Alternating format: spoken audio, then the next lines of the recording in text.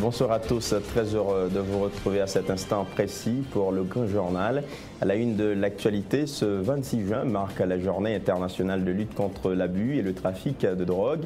L'occasion pour la CONAL de réfléchir sur la nécessité de doter le pays d'une loi permettant la condamnation des narcotrafiquants.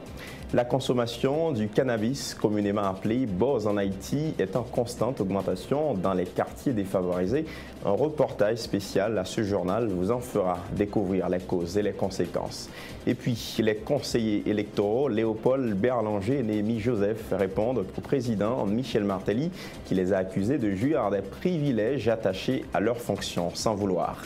Les policiers qui ont agressé le sénateur Moïse Jean-Charles Agressier à l'Arcaillet au mois de mai dernier, sanctionnés selon l'inspection générale de la PNH.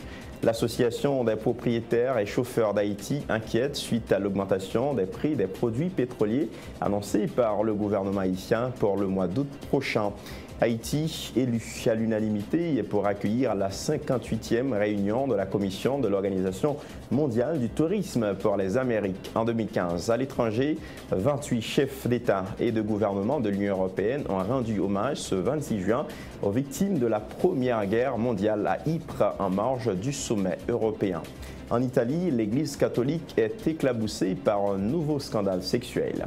Le développement de ces titres et d'autres informations après cette pause.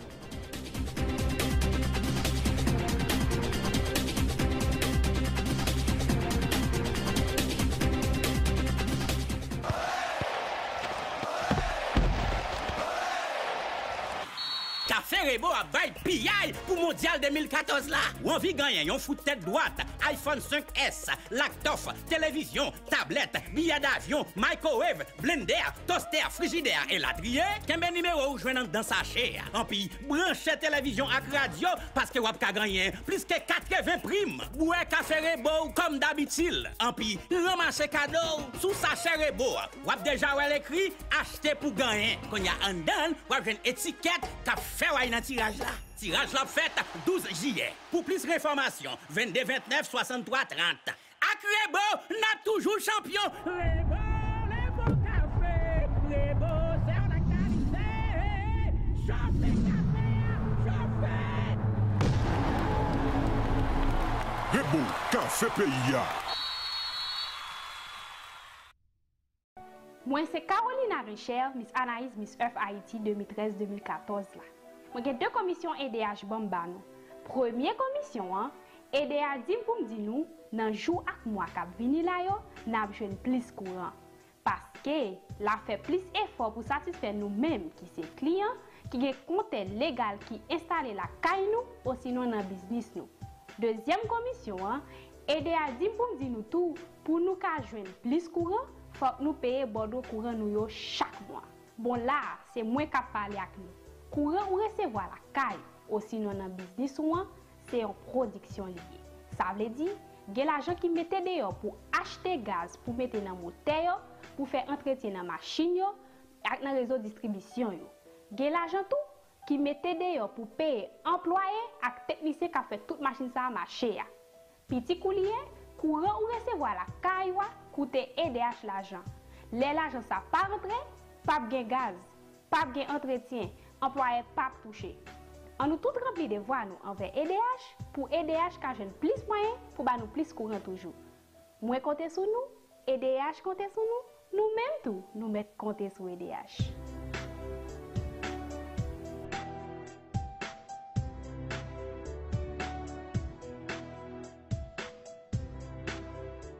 Vous travaillez pour construire votre avenir. Les fruits de vos efforts méritent d'être protégés. Tous vos investissements, chaque employé dévoué, chaque précieuse acquisition, aujourd'hui et pour les générations futures, un malheur est vite arrivé. Soyez prêts, car les conséquences pour vous peuvent être dévastatrices. La AIC à vos côtés, vous pouvez affronter sereinement les surprises que vous réserve la vie. Retombez sur vos pieds. Inutile de tout recommencer. AIC est votre filet de sécurité. Vous créez la richesse,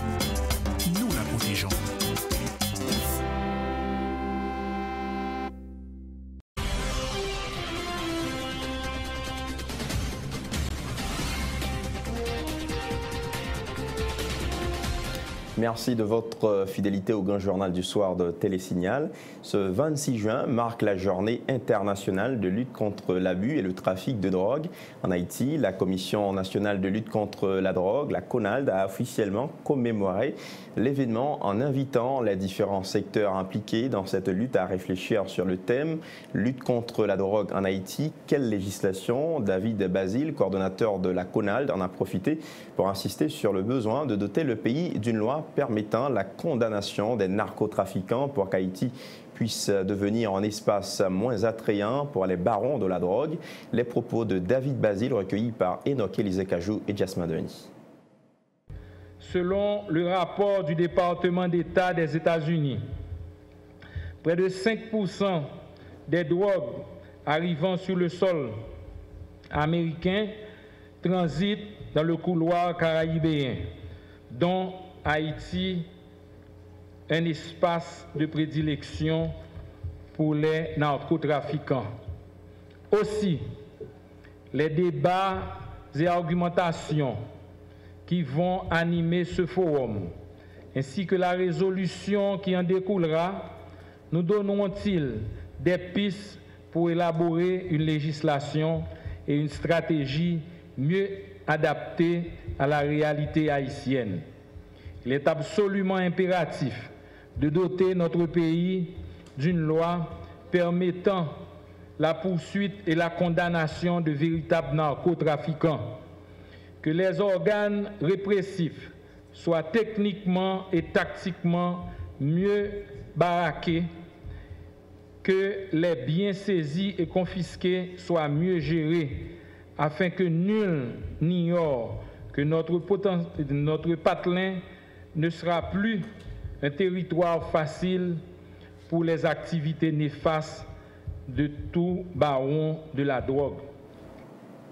La nécessité de combattre le trafic illicite de la drogue s'impose, a fait savoir Anel Alexis Joseph, président du Conseil supérieur du pouvoir judiciaire, qui s'exprimait lors de la journée de la célébration, bien sûr, de cette journée de lutte contre l'abus et le trafic de drogue.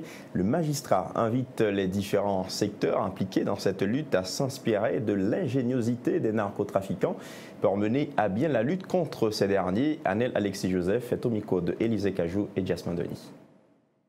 Lutter contre le fléau de la drogue exige l'implication de tous les secteurs de la société. S'il est vrai que les institutions policières et judiciaires se retrouvent au premier rang de ce combat, il n'en demeure pas moins que le Parlement et les autres secteurs de la vie nationale ont un rôle, considérable à jouer. Cette approche multisectorielle de la lutte antidrogue se révèle d'autant plus utile que nous sommes tous conscients que le problème de la drogue est multidimensionnel. Aussi, demeurons-nous convaincus que seule une participation effective des acteurs impliqués dans cette bataille peut garantir des résultats plus probants. Mesdames, Messieurs, si les narcotrafiquants s'entendent à trouver des techniques de plus en plus inventives pour essayer de tromper la vigilance des autorités, il est d'autant plus important que les institutions policières et judiciaires de conjuguer leurs efforts à travers des plans stratégiques afin de contrer de manière efficace et efficiente les actions de ces derniers. De son côté, le président du Sénat de la République donne la garantie que la Chambre haute accompagnera la Commission nationale de lutte contre la drogue dans son travail. Du seul Simon Dera prend un exemple le vote de loi sur la vente d'alcool aux mineurs et de la conduite en état d'ébriété approuvé par le Sénat. Selon du seul Simon Dera, la drogue est l'un des éléments favorisant la hausse vertigineuse de la criminalité organisée. Les propos du sénateur Dera sont recueillis par Enoch Elisekajou et Jasmin Denis. Le trafic de drogue défraie la chronique et entraîne un climat de sécurité dans le pays par l'éclosion de la criminalité organisée. Étant le président d'une branche du corps législatif, le Parlement travaille quotidiennement pour doter le pays de textes pouvant répondre à la réalité haïtienne en vue d'offrir un Haïti plus juste, plus prospère et plus libre pour la génération future. S'il était possible de voir cette Haïti fière d'elle-même, avec un état de droit cherchant le bonheur pour tous, les Haïtiens sans exception ne serions-nous pas passionnés de travailler vers ce rêve Dans le cadre de la mise en application de la stratégie nationale de lutte contre la drogue, au Sénat, avons voté un projet de loi sur l'interdiction de la vente d'alcool aux mineurs et sur la conduite en état d'ébriété. Il vise à réduire la violence conjugale et les risques d'accidents causés par la conduite au volant sous l'emprise de l'alcool et par ainsi de diminuer le taux de mortalité, les infractions et les contraventions découlant de ces manquements. Mesdames, Messieurs, le Parlement est déterminé à accompagner le CONAL à poursuivre cette aventure sur le chemin épineux mais combien prometteur qui doit inéluctablement nous accoucher des communautés réellement saines sans drogue? Nous allons continuer à parler de drogue. La consommation du cannabis, communément appelé buzz en Haïti, en est une, en constante augmentation dans les quartiers défavorisés. Son usage est générateur d'angoisse chez les jeunes qui se mettent à fumer de manière occasionnelle ou irrégulière. Michel de Payen et Yvan Saïd ont fait la chasse aux idées reçues. Suivez leur reportage. Marijuana, Marie-Jeanne, paille, zeb, boz, shit, weed, ganja. Les surnoms sont nombreux pour désigner la substance illicite la plus consommée chez les jeunes, à côté de l'alcool. Ceux qui en consomment disent rechercher un soulagement face aux problèmes quotidiens. Les jeunes adeptes du cannabis semblent moins intéressés par la cocaïne. nous buzz. Mais pour Jamaïcain, c'est marijuana. Ça, c'est bon, ça, c'est bon vet là, quand même là. Bon vet là, ça, Mais ça, c'est pour nous. Et ça, nous bon méditer. En même temps, ça, nous pas, nous pas à blanche, qui est cocaïne, nous avons cocaïne. Nous bien méditer ça. Il fait me dormir. Il fait me manger. Et il fait me poser tout. La consommation couplée de tabac et de cannabis est très fréquente dans les quartiers défavorisés. Cette association entraîne de nombreux effets sur la perception, les pensées et l'humeur. De façon générale, fumer du cannabis provoque une légère euphorie souvent accompagnée d'un sentiment de détente. Pour ce consommateur, vaut mieux être défoncé qu'être ivre. Son devant un.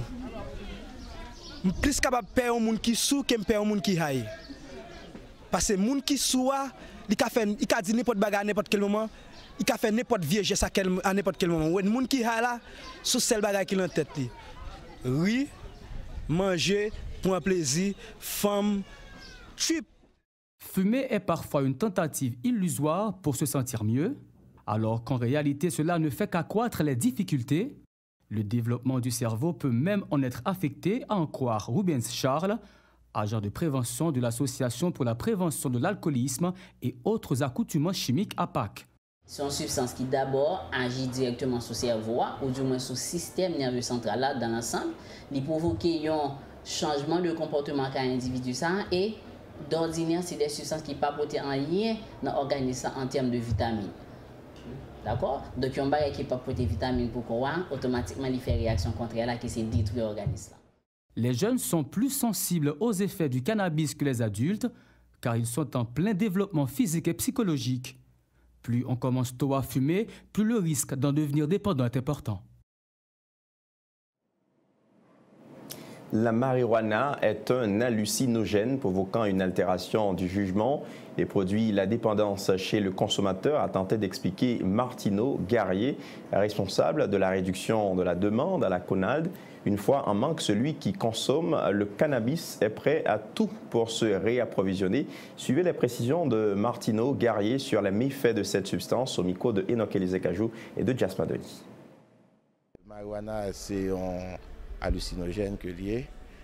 Donc, il a un monde qui sont en prise marijuana, il y a plusieurs euh, euh, symptômes que le cas présenté étant pour mon capable de voir que les yeux rouges, gen moun ki koneksite, gen moun ki kapab plus ou mwen ap pale, gen moun ki pa posede yo direktman le ou sou an priz marijuana. E, e lo arrive pi loin, gen de form de depresyon ke moun akabli.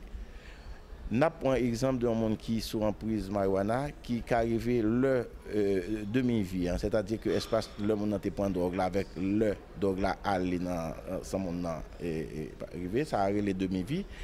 Mon est capable de présenter des, problèmes de dépression, d'anxiété, etc.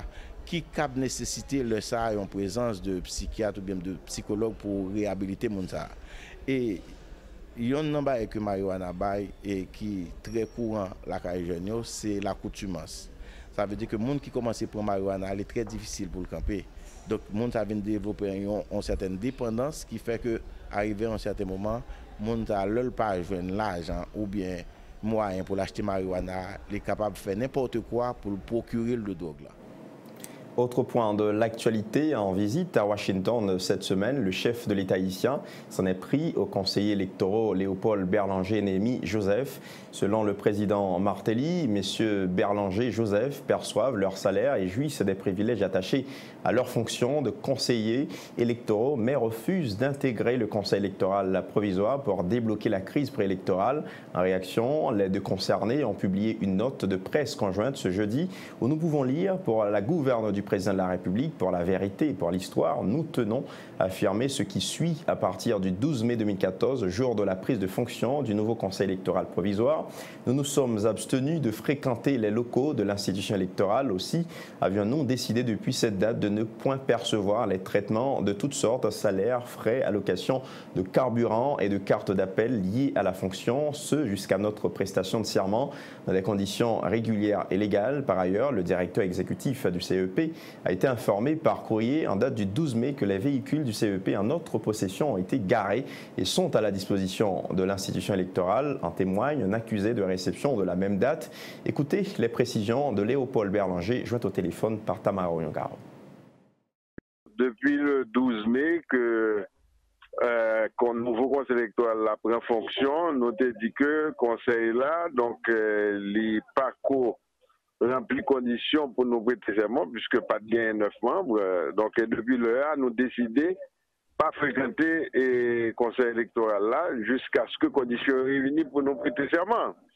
Et de ce point de vue, donc, euh, nous avons décidé tout en même temps que nous sommes pas capables de, continuer à percevoir aucun salaire, aucun traitement, aucun frais, aucune forme de compensation, euh, quelle qu'elle soit. Mm-hmm.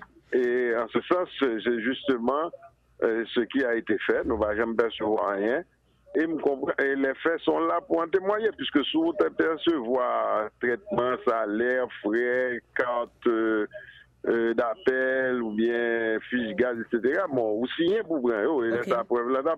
Mm Donc, et, en même temps, tout véhicule qui, qui te l'amène, nous écrit directeur exécutif CVPA pour nous dire que nous, à la disposition de CVPA, nous garons la caille et nous pas avec eux.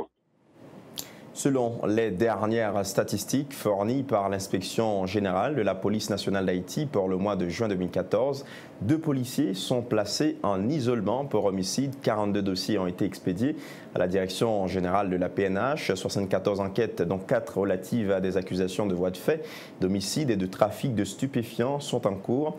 L'IGPNH a également recommandé le renvoi de 19 policiers, dont 15 pour abondant de poste, 21 suspensions sans solde. Le commissaire divisionnaire Marc Wilkenjean est le porte-parole de l'IGPNH. Ses explications au micro de Samus David François. Pour moi, ça, nous isolons deux personnes, donc deux personnes pour homicide, un policier qui était tiré en, en mini, donc qui isolé là pour homicide. Donc, dossier d'enquête pour mois de juin 2014, ensemble de dossiers qui signés et qui expédiés dans la direction générale, au nombre de 42. Quand c'est enquête qui ouvert, pour moi, ça, c'est 74. Donc pour moi, ça, nous recommandons renvoi 19 pounds. Donc, il faut qu'on approuve, mais il y a 19 pounds que nous demandons pour l'inspection généralement de pour t'avouer aller. Il y a 15 là-dedans, c'est pour abandon de poste. Donc, c'est des abandons de poste pour 2013-2014. 42 dossiers, ça, qui ça gagne là-dedans comme élément de recommandation. Donc, les dossiers, ça, fin traité, nous sommes trois que nous demandons de révoquer 4 pounds.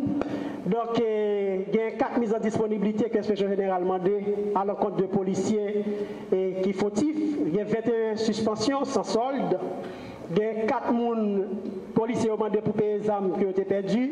Donc il y a 12 dossiers qui sont classés. Donc c'est-à-dire que des dossiers côté que pas de garde d'éléments qui ont été sanctionnés aux policiers ou bien plainte pas de fondé. Donc il y a 12 dossiers classés. Il y a 4 dossiers nouveaux et parquet. Il y a 3, et, 3 recommandations de transfert. Donc dans les demandes de transférer Mounio. Donc il y a 6 réprimandes d'actes blâme et puis il y a 16, 16 avis au payant. Donc ça, les dossiers au traité. Donc décision prend. Les gens qui déposent plainte là, ils ont écrit, ils ont avisé, puis ils ont dit que le dossier est traité, mais qui décision qui était dans le cadre dossier. Concernant les dossiers d'agression dont a été victime le sénateur Moïse Jean-Charles à Gressier et à l'Arcaillet, au mois de mai dernier, le commissaire divisionnaire Marc Wilkenjean informe que les agresseurs du sénateur Jean-Charles ont été suspendus sans solde pour une durée allant de 40 à 60 jours et agissant sur le dossier de bastonnade qu'aurait subi le militant politique Ronnie Timothée à la prison civile de l'Arcaillère où il a été détenu au mois de mai. Marc Wilkenjean affirme que pour l'heure, l'IGPNH ne détient que des informations véhiculées dans la presse. Il invite Ronnie Timothée à porter plainte à l'inspection générale de la PNH afin de faire le jour sur ce dossier. Il y a trois dossiers d'actualité, dossier Ronnie Timothée, y a dossier sénateur Moïse Jean-Charles, donc agressé, et puis le deuxième dossier qui a été frappé dans la prison à. Le est sénateur Moïse Jean-Charles est sous gressier, donc, donc c'est ça fini. Donc, rapport de, en fait, commission capture des dossiers, est fini, mais rapport d'enquête là pour arrive joindre l'IGC. Le dossier est à Agence a, donc actuellement, en suspension, donc il n'est pas, en fonction là pour l'instant. Il y a une suspension sans solde. C'est une suspension de 40 jours ou, 3 mois. Il est suspendu, est et actuellement il n'est pas en fonction encore. Donc il est dans la cour et administration pénitentiaire en attendant que application et sanction ça. Donc dans le deuxième cas, c'est affaire judiciaire, donc c'est suspension encore sans solde à l'encontre de agent, agent yo, bon, c'était affaire judiciaire, donc agent yo qui était impliqué dans le cadre dossier ça. Donc sous le dossier Timothée, Jean Doula, donc faudrait-il que nous fassions enquête de voisinage, que nous jouions des témoins qui étaient vive situation. Mais à date, nous c'est sous base et information de la presse et que nous-mêmes nous agissons parce que Timothée en lui-même, donc nous pas que j'entends délit dans le cadre dossier ça. Autre dossier à ce journal Ouverture, ce jeudi à Pétionville, dans séminaire de trois jours sur le leadership et l'innovation à l'intention au cadre de l'administration publique. Initiative conjointe de l'Institut de technologie de Massachusetts et du gouvernement haïtien qui vise la modernisation de l'État et le renforcement institutionnel, évoquant l'importance du leadership et des technologies. Le Premier ministre Laurent Salvador Lamotte, présent pour la circonstance, préconise un système éducatif haïtien axé sur des technologies de haute qualité et des ressources pédagogiques en créole pour l'enseignement des sciences. Reportage Tom Dumont et Wendy Henry. Des ministres et des secrétaires d'État privés de leur confort au quotidien au bureau pour se consacrer à des séances de formation d'une durée de trois jours. Et à l'occasion de la première journée, le Premier ministre Laurent Salvador Lamotte fait valoir l'importance de la formation pour les cadres de l'administration publique. Baron qui dernier gouvernement qui ensemble eh bien, prend un break pendant trois jours pour recyclage. Au plus haut niveau avec plus bonne université, une des plus bonnes universités au monde. Donc je dis à la, pendant trois jours, ça, voilà, Klaus va dire que tu fais ça encore. Ministre intérieur, ou pas ministre intérieur encore. Eh bien, où sont, où c'est un élève? Nous, toutes ces universités, je dis.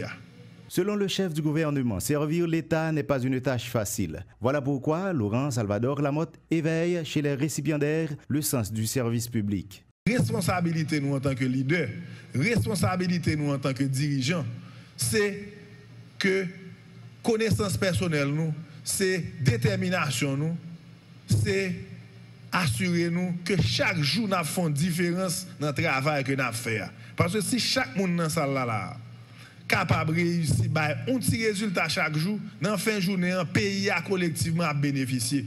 Directeur de l'Institut de technologie de Massachusetts, Haïti, Michel Degraff évoque certaines caractéristiques d'un leader. C'est seulement un leader qui est incompétent qui peut croire que est déjà contre toute bagaille.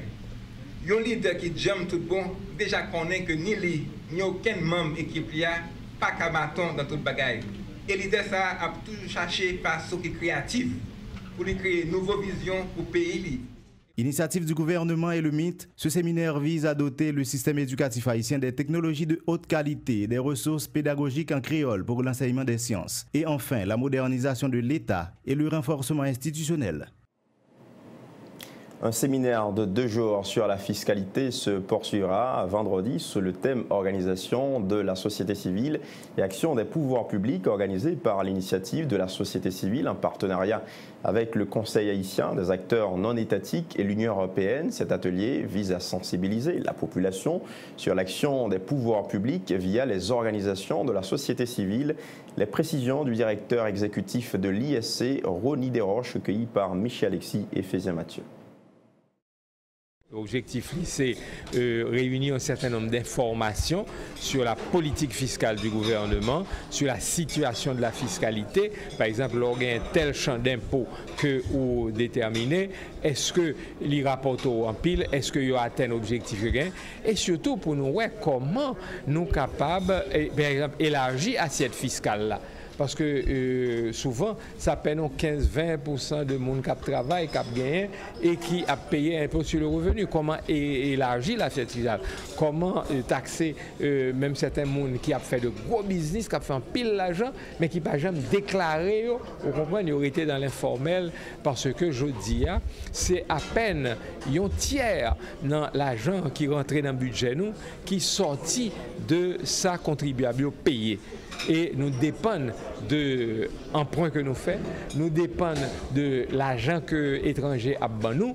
Ouais, et son situation qui est absolument euh, nous capable dangereux parce que et, par exemple on regarde de l'année dernière à année ça euh, de l'étranger diminué de 30%. Et certainement, il pourra continuer à diminuer. Ouais, parce que nous avons une belle aide que nous avons lors de, du séisme, mais bah, ça n'a pas besoin encore. Vous comprenez?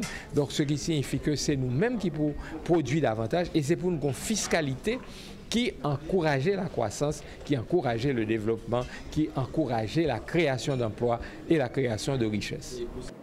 Le coordonnateur général de la sécurité alimentaire. Salue la publication du rapport des objectifs du millénaire pour l'année 2013 hier mercredi Rapport qui fait état d'avancées du pays dans les domaines de l'éducation, la santé maternelle et l'élimination de la pauvreté. Selon Gary Mathieu, les chiffres prouvent que le niveau élevé de la vulnérabilité à la pauvreté est préoccupant. L'agonome Mathieu estime que le gouvernement doit structurer davantage ses stratégies de lutte contre la pauvreté et tourner vers la réduction de la pauvreté. Gary Mathieu est l'invité de Tamara Oyongaro à la rubrique Tendance de ce jeudi. Ah, euh, chiffres ont montré que effectivement que gon ont évolution euh, de façon positive qui fait dans la réduction taux de pauvreté.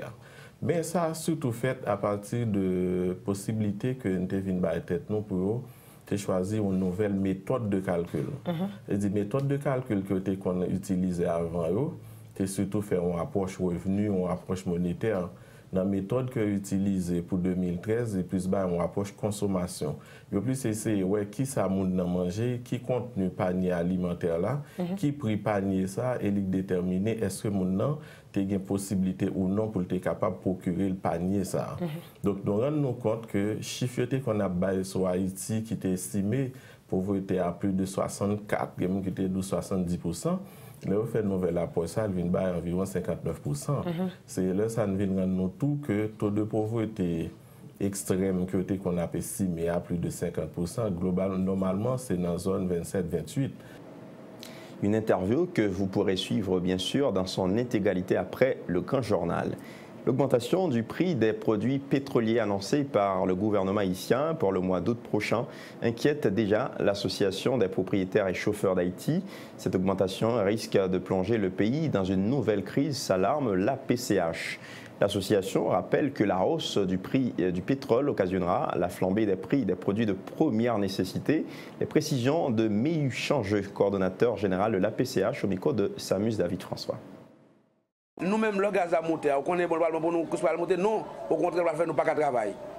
Nan kondisyon sa, nou ta pi reme pou l'Etat, ta fon ti kenbe toujou, basè montè gaz la konen a, se kreye plis kriz nan peyi ya. Basè, ou ka kompren sa la, e pou nou pa renleve matè, pou jwen 10-15 gout la pou ba chak ti moun pou l'ale, pou peye masin nan. Li an ba apil difikilte, pi koun ya pou l'al montè ankon, e pou gaz la son pou di transversal, li e depi gaz montè nou peyi, se tout bagay net ki pal... qui va monter dans le pays. Et il n'y a pas de cash qui va mettre qu'on a la grave toujours. Nous pouvons entrer dans la logique d'augmenter la machine? Parce qu'il va créer un peu le problème. Parlons éducation à présent. Les examens officiels de la 9e année fondamentale prennent fin ce jeudi 26 juin sur tout le territoire national. Au total, 195 041 candidats ont participé aux épreuves. Le département de l'Ouest a accueilli le plus grand nombre, soit 99 733 candidats. Dans plusieurs centres d'examen, certains candidats ont reconnu que les épreuves étaient à leur portée. D'autres, au contraire, se sont montrés prudents. Leur témoignage recueilli par Michel Alexis et Fézé Mathieu. Mwen etidye, depi m leve chak 2 er, di maten pou m etidye, epi m travay, mal nan seminer, jist mal nan goup de travay, jis esak fe. Mwen examen fasil pou mwen. Premier joun se fasil, deuxième joun se fasil. Men je diya, ah, se va difisil men yo ban nou e kompozisyon fa, examen yon fason pa konpon. Paske yo pa kite espas pou nou kompoze, le fini. Si nou ta fe ratu e pi pa gen espas, yap digo sa ke se nou ki mal fe examen e pi se yo ki pa kite espas. Lò di bagen espase la, sa vle di koman eske se sou fey la, bay nou ti detay. Fey lan, yo, yo ta kite, yo ta ban nou de fey, yo bay fey lan, devan epi verso a gen, epi pa gen espase pou nou kompoze. La pou ti moun ki mal nan examen ane pochen, ane pochen nou, si yo, si apre pa examen, si apati de premier trimestre apre prepare, pi va ven nan reta, paske men man reta, Asè m prepare, komanse prepare examen to ata, donk sa te vit ban moun ti problem ki fèm bat iti ki fèm bat byen kompoze pou sensisme mental la. E pa gen bagay tou de matyè ki ou ren men se li pou pi bon. Fò travè tout matyè yo pou si ou pa pase nan yon, pou so ou pase la den pou so de refermer notre page d'information locale. Sachez qu'Haïti a été élu mercredi à l'unanimité pour accueillir la 58e réunion de la Commission de l'Organisation mondiale du tourisme pour les Amériques en 2015. L'information est confirmée par le ministère haïtien du tourisme sur sa page Facebook. Cette décision a été adoptée à l'issue de la participation du pays à la 57e réunion de la Commission de l'Organisation mondiale du tourisme à Carthagène en Colombie cette année. La ministre du Tourisme d'Haïti, Stéphanie Balmier-Vildouin, a insisté dans son intervention de circonstance sur l'image du pays à l'extérieur et la politique de repositionnement d'Haïti comme destination touristique à noter que Mme Balmi Vildouin a participé à cette réunion en tant que premier vice-président de la Commission pour les Amériques à l'Organisation mondiale du tourisme. La suite du journal après cette pause publicitaire.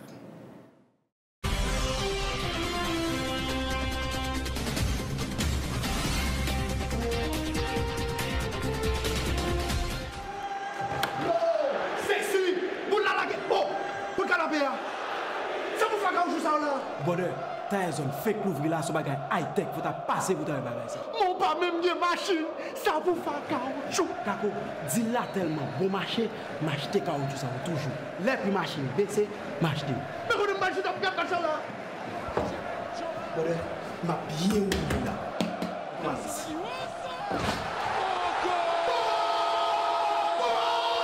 Depi se kaype le bek jere ou Jante, repare kaoutchou Balanse kaoutchou Test électrique gratis ti chéri.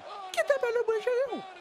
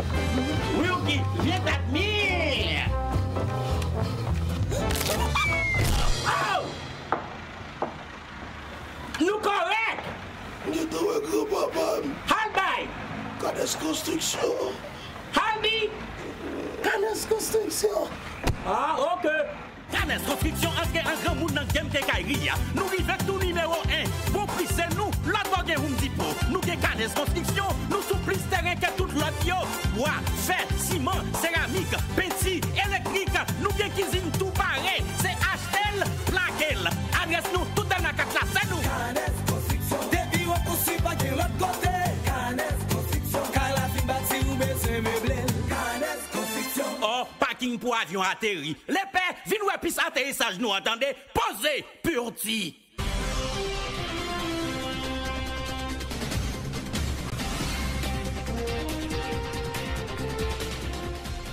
Nous abordons à présent l'actualité internationale. 28 chefs d'État et de gouvernement de l'Union européenne ont rendu hommage aux victimes de la Première Guerre mondiale. Jeudi soir à Ypres, les leaders européens ont commencé par une visite à la porte de Ménin, sur laquelle les noms de 60 000 victimes de la Grande Guerre sont gravés. Une cérémonie hautement symbolique organisée en marge du sommet européen. Reportage Euronews. Du centenaire de la Première Guerre mondiale, les dirigeants de l'Union européenne ont choisi de se retrouver pour une journée de sommet à Ypres en Belgique, une ville martyre, théâtre des batailles les plus meurtrières du conflit. Des dizaines de milliers de soldats de l'Empire britannique y ont notamment trouvé la mort. Une cérémonie s'est déroulée porte de Ménin où un mémorial a été édifié. Les chefs d'État et de gouvernement européens se sont recueillis en mémoire de ceux qui ont péri durant les quatre années de la Grande Guerre. Ils devaient ensuite se retrouver pour un dîner de travail avant de regagner Bruxelles pour une seconde journée de sommet. Au menu, la désignation du futur président de la Commission européenne.